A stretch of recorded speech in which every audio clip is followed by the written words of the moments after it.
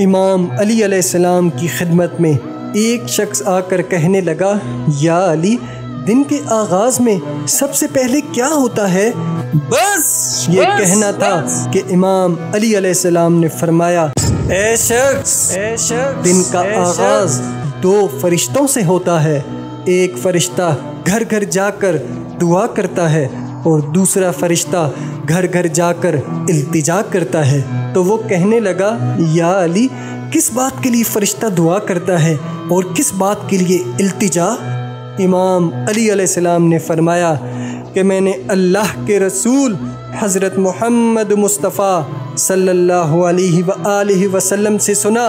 कि सबसे पहले दो फरिश्ते ज़मीन को आते हैं और घर घर जाकर देखते हैं। जिस घर में कोई ऐसा बंदा होता है जो अपनी मखलूक पे खर्च करता है, अपने अज़ीज़ अकारब पर खर्च करता है, अपने घर वालों की ज़रूरत को अपना फ़र्ज़ ऐन समझता है तो एक फरिश्ता अल्लाह के दरबार में दुआ करता है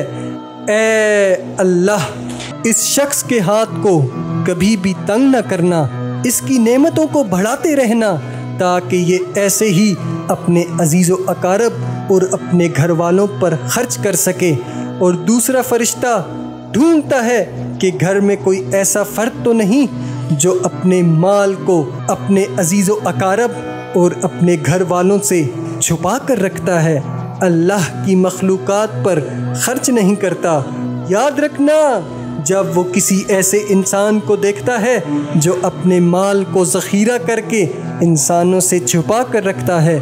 तो वो अल्लाह के दरबार में फरियाद करता है कि, ए अल्लाह,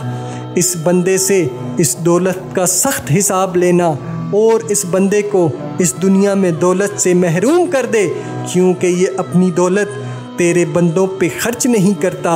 अपने घर वालों और अपने अज़ीज़ अकारब को अपने माल से महरूम रखता है। और यूँ अज़ीज़ अकारब पर खर्च करने वाला दुनिया में फरवानी और आखरत में अजर अजीम पाता है और जो अपने अज़ीज़ अकारब पर खर्च नहीं करता वो दुनिया में रसवाई और आखरत में सख्त अजाब देखता है। ता है, ता है।